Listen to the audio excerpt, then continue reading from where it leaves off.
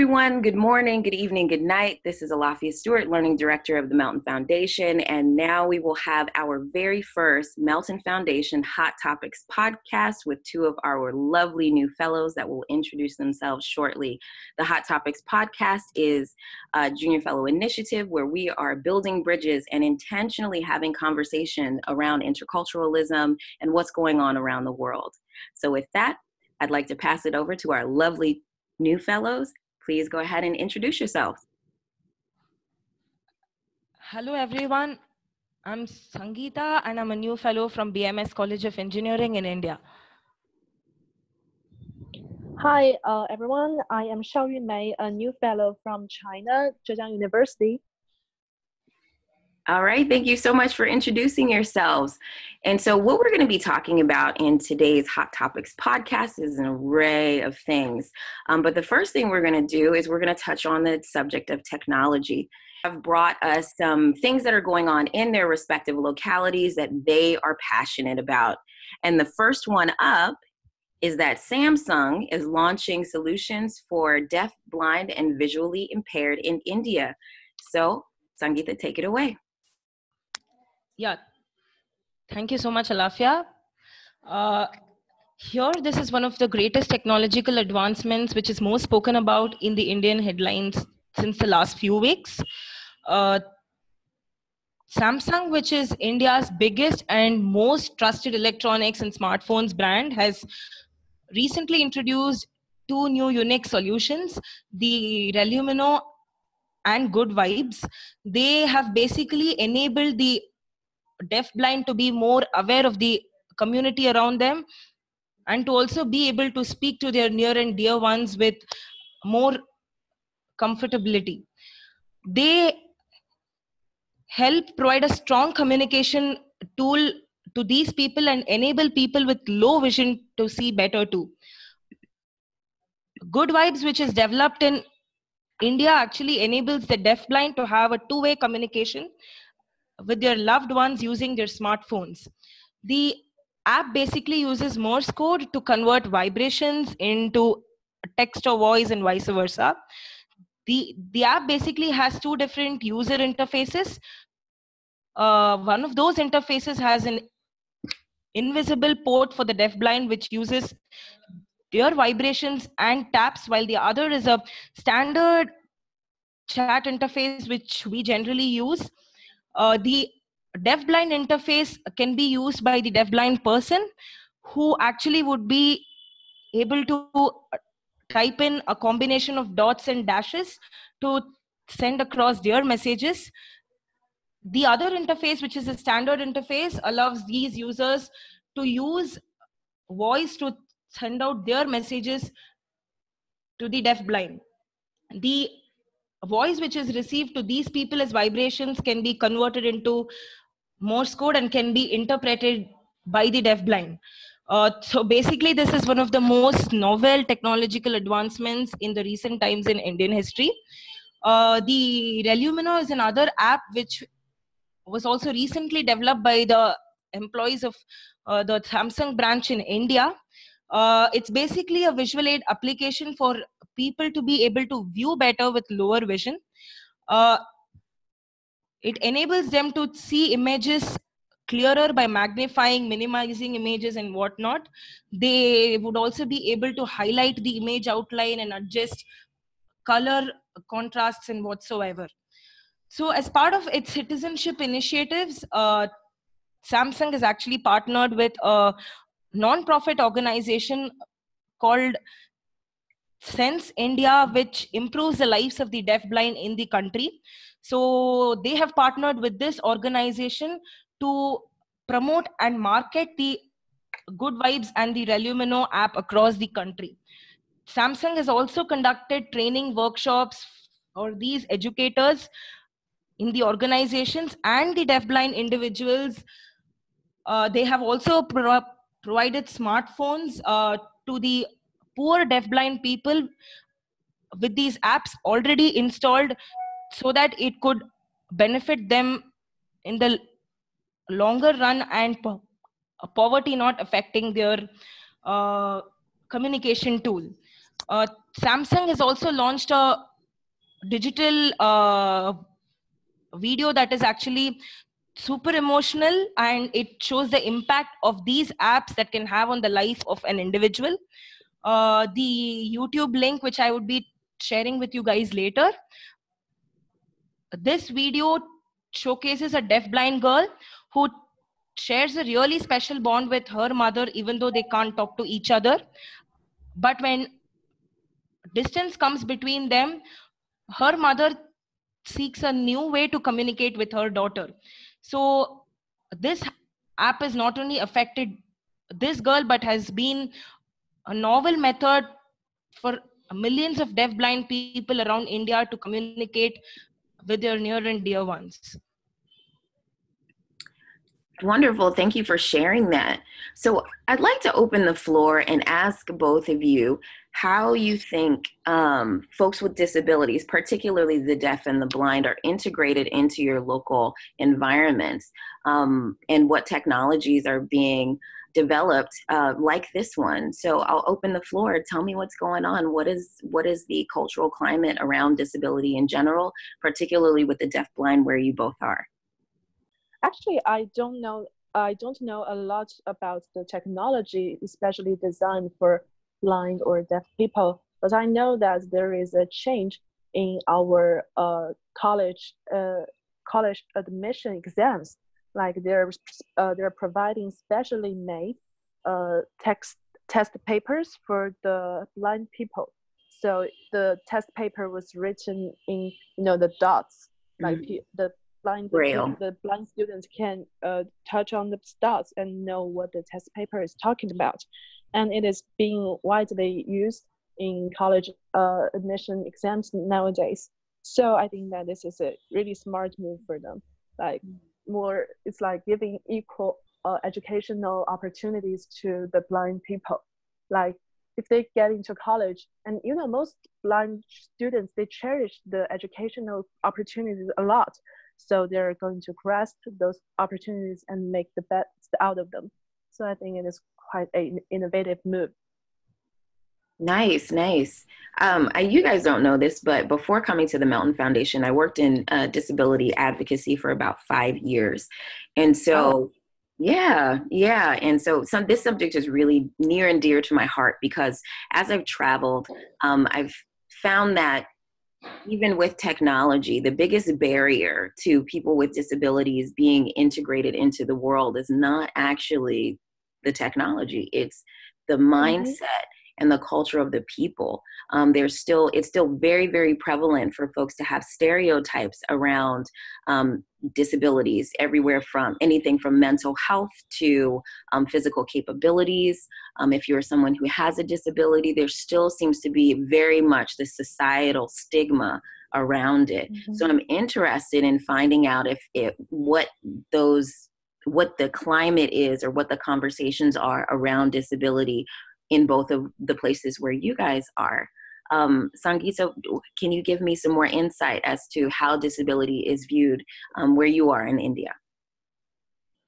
Yeah, so actually, uh, there are a lot of opportunities for people who are disabled and physically challenged in India. Right from their educational institutions to the workplace, they have uh, a special kind of attention and um, few measures that have been taken in the respective places for them to stay in a coherent environment and they being inclusive with all the other people. So as you may already uh, spoke about the educational institutions providing opportunities it's the same case in india too. They have writers and uh, braille script writers who actually help the deaf blind people to you know like write exams and uh, compete with other people in the normal sense and even in the uh, workplaces i've heard that there are few organizations which provide um, a jump for these people to directly go to the interview rounds without attending uh, the aptitude and the logical reasoning exams or whatsoever. So like i've heard that they directly take such people to the interview round I'm not really sure about this, but I think that uh, there are a lot of measures in India to make the deaf blind people inclusive into the normal environment. Mm. Awesome. That's awesome to hear because when we talk about disabilities, and unfortunately, in a lot of Western media outlets, there's this idea that um, Western societies are um, doing a better job in catering to to folks with disabilities, and that you know that they're just ahead in all of these other areas. And I think it's really important for the discussions around disability advocacy and inclusion and access to be one that that's inclusive inclusive of everyone around the world and and a recognition and um, an encouragement for um, societies and environments to make these sort of technologies and it's really great to see that this is something that humanity as a whole is embracing that we need to do something so that we can even the playing field and provide an environment for those who may have a disability um, to be able to live the fullest lives that they can All right. And is there um, anything else you'd like to add to this subject? And I have a I have some questions for sure. this topic. Like I really uh since I think it's fantastic for blind and uh deaf people all around the world to have great access to it. So I want to ask, is this app developed by Samsung's like India branch, or uh, is and is this app now only available in India, or is it going to be uh, in the app store like all around the world someday?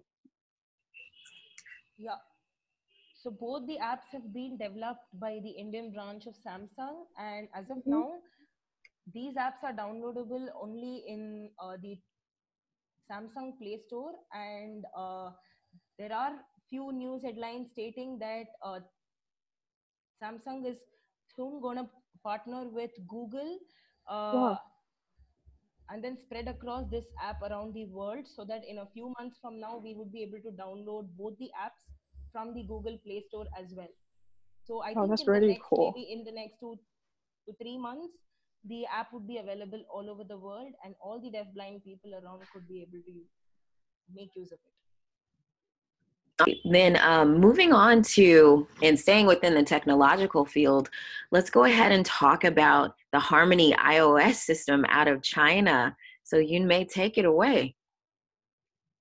Yeah, uh, the Harmony OS, the Harmony operating system, is developed by Huawei Technology Co. It was unveiled in uh, in August, and it remained to be one of the hottest uh, topics in China in the last few weeks.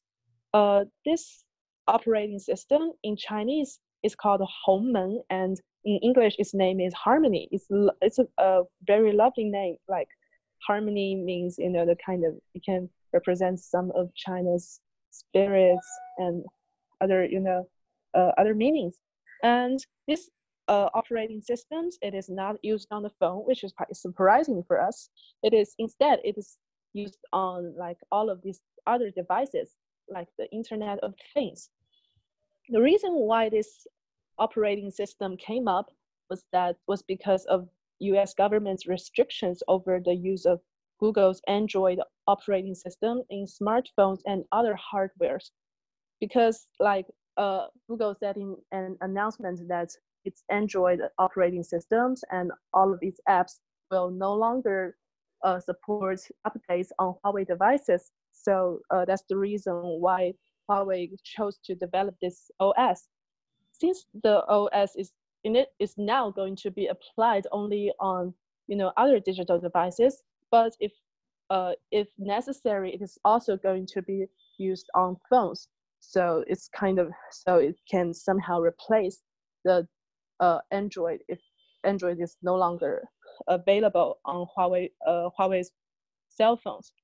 And also, um, you know, the reason why we are kind of surprised to learn that uh, people in China are kind of surprised to learn that uh, the Harmony OS came out was that it just came out so quickly because we know that hard developing an operating system takes quite a long time and you know it just came out like weeks after google announced that the android is no longer able uh, available to update on Huawei devices. So it proves that it was uh, so it was, looks like Huawei has been preparing the plan B for Android for a long time. We're kind of we're very happy to learn that anyway. Huawei is like one of the biggest technology companies in China, and it's in China it is famous for its uh, uh, ability to innovate new things, you know, from phones uh, to other devices and now to the operating systems. But it is also kind of surprising that it is uh, the uh, the Harmony OS is going to be applied on the Internet of Things because usually in China we don't go to Huawei for other digital small digital devices. We go to another technology company called Xiaomi. So it was also quite ambitious move for Huawei. Like it's going to not only uh, it's not only uh, focusing only on phones anymore. It's also going to shift its uh, focus to other devices. So it's quite a strate- strategic move. Yeah, so much for this. And also another definition to mention is that Huawei says this uh, this operating systems is going to run on the microkernel. The microkernel is like a uh, minimal software structure for operating system mechanisms. For example, Android runs on 100 million lines of code, but Harmony OS, according to Huawei, runs on just 100 lines of code. So it's quite impressive, like the contrast between the number of codes. But since the Harmony OS has not uh, being put into use yet. We have no idea whether the uh, the difference between the kernel is going to affect the experience of we using it. Okay, so much for this. All right. So um, after reading a little bit about Harmony, the operating system, um, and looking up what a microkernel is, because I definitely didn't know what that is, uh, so what do you what do you see as being like the major impact so from what i read if harmony operating system works out it will be able to be used across any device and i think yes. when we're talking about technology and we're talking about inclusion and we're talking about mm-hmm. worldwide reach it seems that if huawei can pull this off that this is going to be an incredible innovation in mobile technology or technology in general Yes, for example, actually now the Internet of Things like the uh, OS on all of the devices are mostly Android, but now but but it seems like Huawei has developed an independent version of OS which can be applied on those things. So it uh, you don't have to rely on uh, another company to you know to develop the OS. Huawei can do it by himself by itself and also in uh, the the OS being applied to all of these digital devices means it's another technology called IDE, Integrated Development Environment. So it's like you can the since the OS is applied on all of these devices, you can, for example, set use your phone to control everything in your home. For example, a television, uh, uh, uh, the uh, air conditioner, and it's going to make our life a lot more convenient, just like in the old times, you know, science fiction movies. Nice.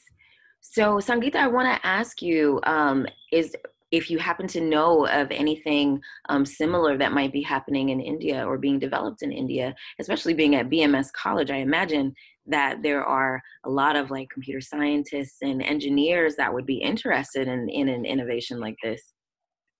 Uh, yeah, so I have recently heard of this operating system which was launched by the CDAC, which is a startup by computer science students, a few uh, Indian institutes across India.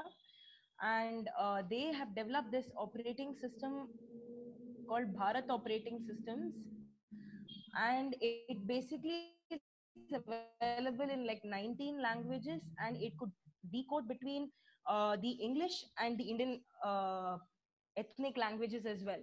Uh, so this is one of the specialities of the bharat operating systems. And uh, they could be opened in the desktop computer in laptops and server computing and even iPads too. So it's a recent development in India. I think it was just invented like uh, six months ago. I just read it in the news headlines. It's a startup operating system. It's not done by a very reputed company or something like that. It's a startup operating system, and they're still developing on it. Nice. And just for the folks at home that may not know, um, how many uh, ethnic languages are in India? So I think, according to my knowledge, I might be wrong too, but I think there are about 22 ethnic languages, if I'm not wrong. Awesome. And um, in China, there I I'm not as familiar as well, but what would be the major languages spoken in China? Uh, Chinese, of course. Yeah. Mandarin Chinese, if I'm correct, right? Yes, Mandarin. Yeah. And then also thinking back to my very limited knowledge, um, Uh-huh. Cantonese is not one of the major official languages lang- spoken. it is a major language, but it's more like a, uh, you know, it's like a dialect only spoken in the southern southern China and not an official language. The official language is Mandarin. Awesome. Sorry to sidetrack you all. I was just thinking about that. Mm. so now we're going to move on to um, the subject of there have recently been three animal species in India that have gone extinct due to desertification. So, Sangeetha, go ahead and take it away. Indian headlines in the last few days has been experiencing this as a major environmental concern. So about three to four species of animals have been declared in the verge of extinction. Uh, the last week in India, they have set to become extinct due to the desertification and deforestation. So desertification is basically the loss of land, uh, the loss of rich, enriched land and this was discussed at one of those conferences that happened at the united nations. Researchers actually spoke of having a database of about 5.8 million and they have uh, found out that uh, a lot has actually changed in the uh, last 100 years. Starting from about 80000 to 1 lakh species about 100 years ago these species have reduced to a number of about 150 in the recent times. And this is definitely a matter of great great concern. Speaking about the reasons of desertification and deforestation it's due to the indiscriminate expansion of land due to overpopulation and also the agricultural expansion which is most prevalent in india. Farming being one of the most sought after occupations and everything has to be regulated so that we have to reverse this process back as soon as possible. And speaking about uh, the land degradation it was also stated that more than 30 to 40 percent of the indian land has been degraded. And this would definitely affect the biodiversity in the whole not only impacting animals but also human beings to a, a great extent the entire food chain is also affected due to the process of desertification so we definitely need to take some steps to reversing this situation back to to enriching our land with a huge number of animals and getting back our biodiversity Back to the question, um, you mean what does it look like in regards to, I guess, species extinction, um, unregulated development of natural areas where you are? Um, you know, like there are a lot of uh, species in China that is endangered. For example, one of the most uh, famous endangered species is panda. It's like there is only like one hun- hundreds of like more than some somewhere uh, more than 100 pandas in China, and there's and they're greatly taken care of now it is a successful uh, exhibition of how China is taking care of the endangered animals. Like they're, uh, they have special bases uh, in Chengdu where you can see, you know, the baby pandas. Every baby panda is, uh, is taken good care by uh, their uh, caretakers, and they're and also the researchers are trying to, you know, let the panda go back into the wild so that they can somehow get used to the wild environment so they will better survive in the future even without human protection. But i think that's you know panda is the kind of species which is specially protected because you know probably it's cute. But there are also other species that is uh, somehow neglected and there are a lot of those neglected species i'm feeling really sorry for that. And you know there uh, also has been some financial problems with the animal endangered animal protection. I just hope that there will be uh, more people will try to pay attention to that. The uh, question. Like you know when talking about desertification, i think a, a, special solution in china it was launched by a it was a very popular foresting program launched by online uh, payment provider in china called alipay. It was like if you use online payment and you will get uh, for example if i scan the qr code to purchase something i will get five grams of energy. And i can accumulate that energy. If we reach up to some sort of amount for example uh, uh, several several thousands of seven several thousand grams of the energy you can use that to plant a tree in the desertification area I have already planned once, so it's quite wow. it's quite a you you have a really sense of achievement when you accomplish that goal of planting a tree in those areas. It's quite a creative solution, and I want to know if there is uh, also you know these kind of programs against desertification uh, in India.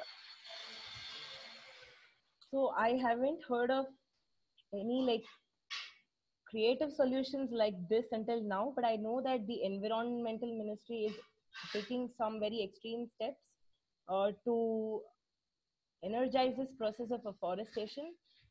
So one of these programs that I have heard about is the National Afforestation Program. Uh, it basically aims at uh, the afforestation of degraded forest lands and also to improve the quality of forest covers in India. So apart from that i've like heard about a lot of ngos that take part in tree plantation activities and i'm part of one such ngo too within my college. And there are a lot of corporate services that also indulge in such activities to boost up the environment with their kind of help.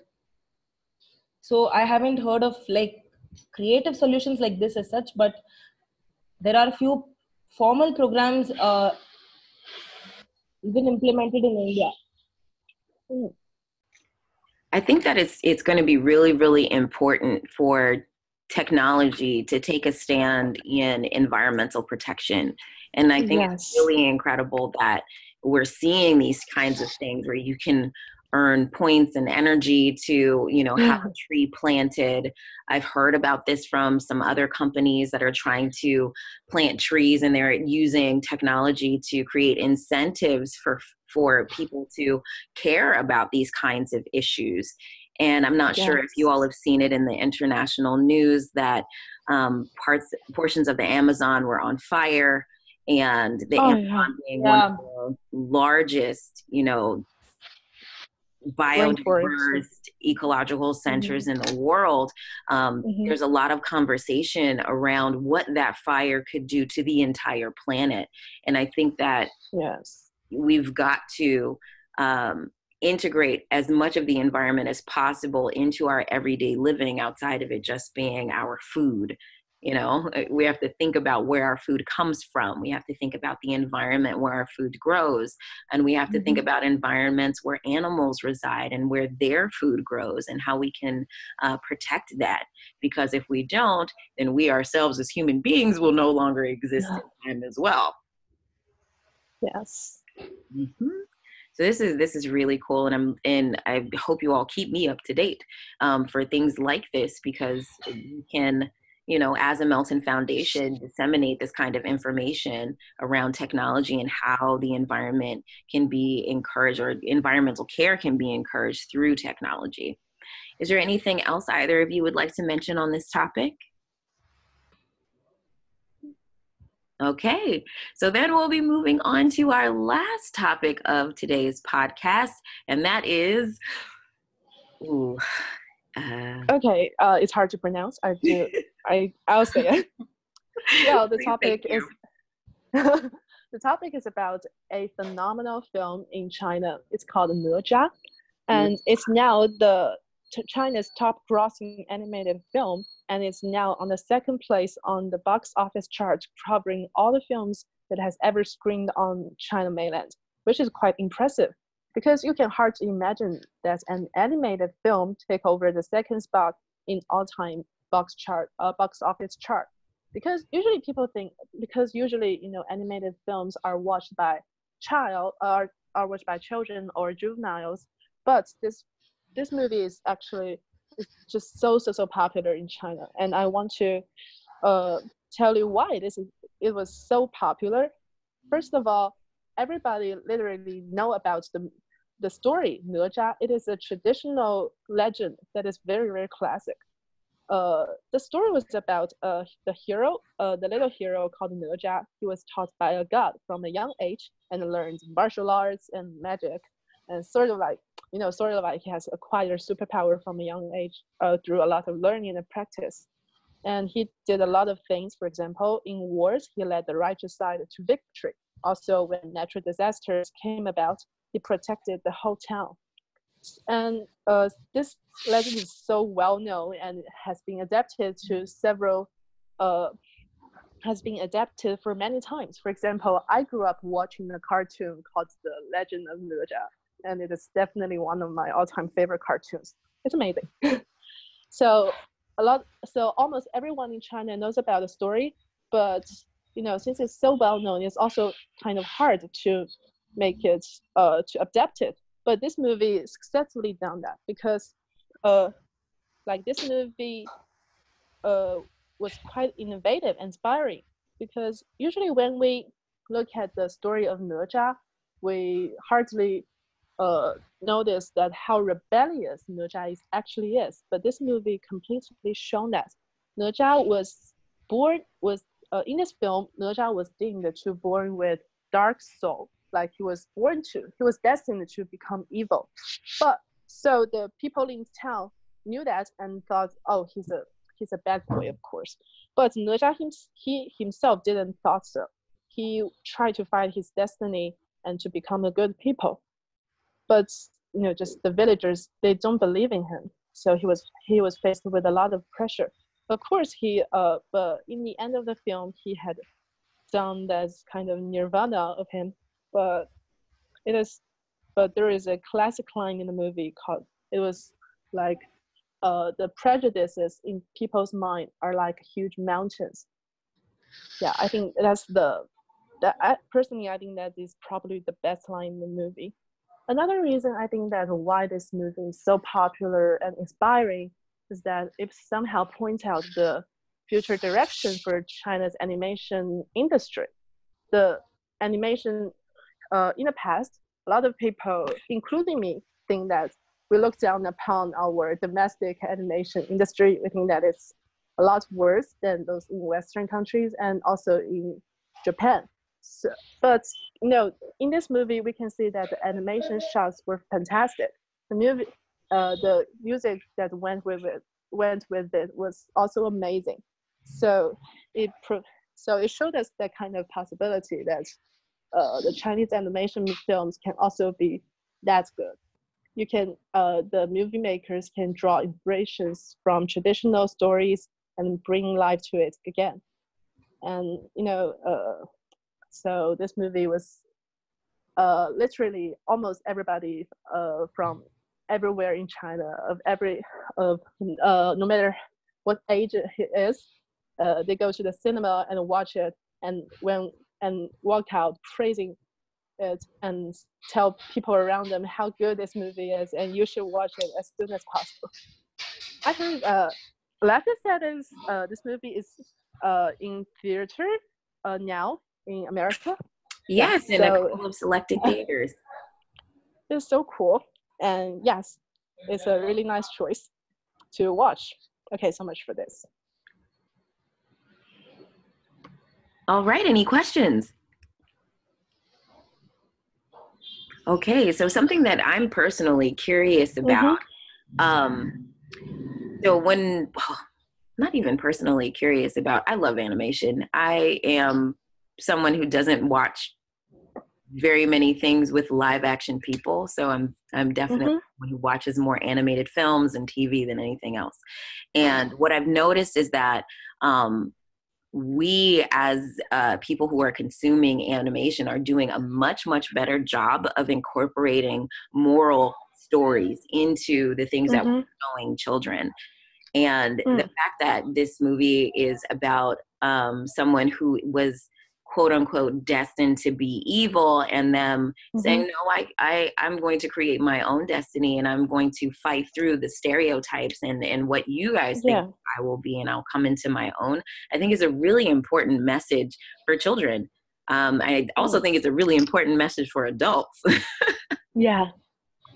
Ah. Probably that's the reason why it was so popular across all ages. Mhm. And also the the hero of the movie, Nezha, there was some controversy before the uh, after the first trailer of this movie came out because uh, in the old adaptation adaptations of the story, the hero Nezha was looked very cute, but in this version, Nezha actually looked not that good, kind of ugly, if I if I am allowed to say so.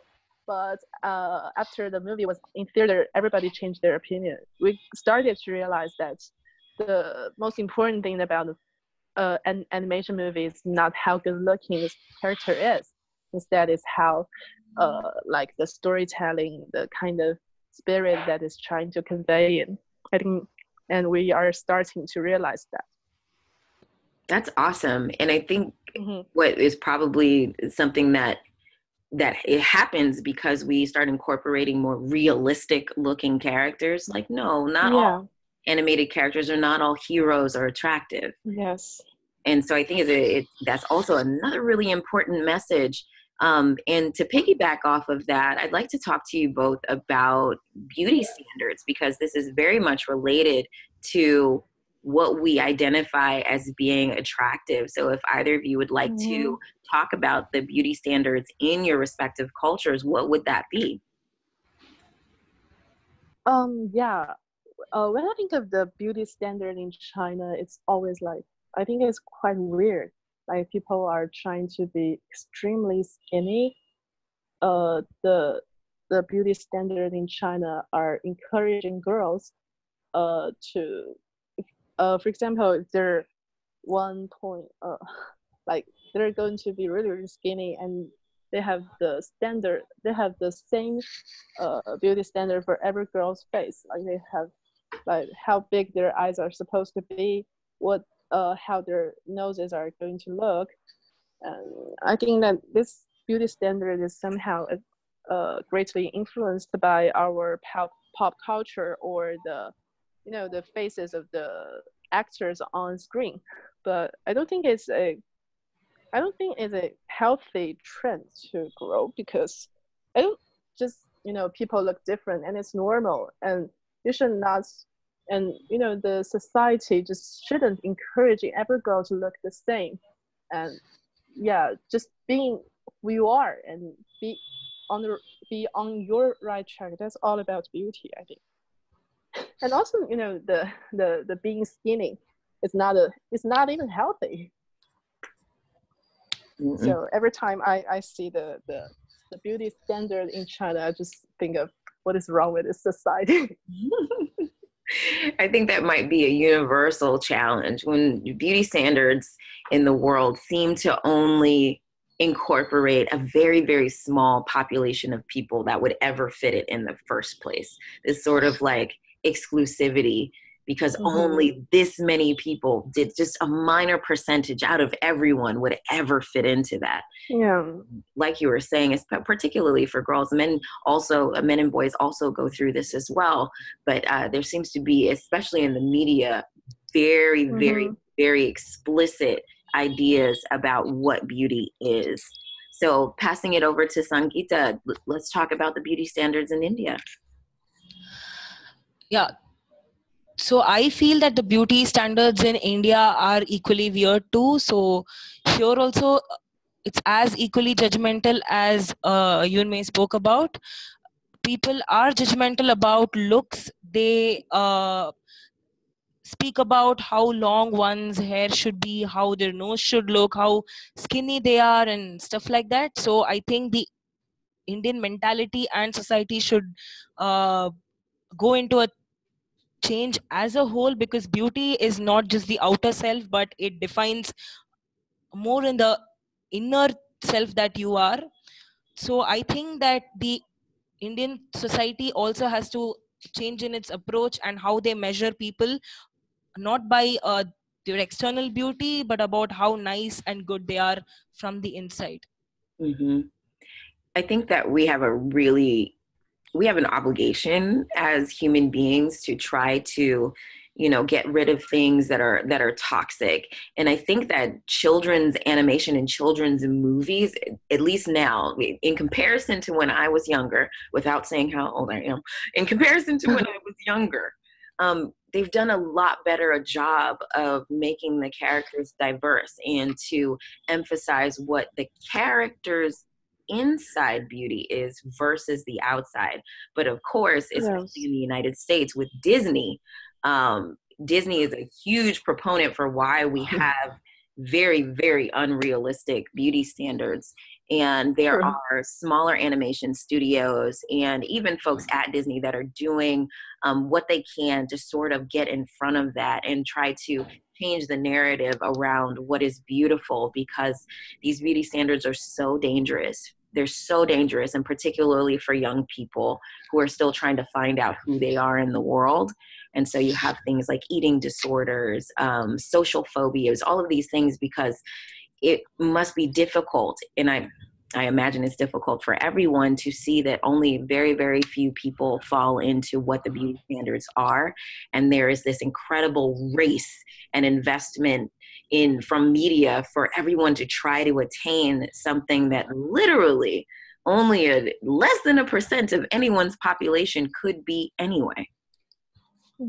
So it looks like we're coming to the end of our podcast. So thank you to you both for being on the Hot Topics podcast. We really enjoyed your insight, and hopefully the conversations continue online in our MF channels and on our social media. So if you are not already following us on Facebook, Instagram, LinkedIn, please do so that you can stay in the loop for all of the things that our MF fellows are doing. And until next time, we'll see you later.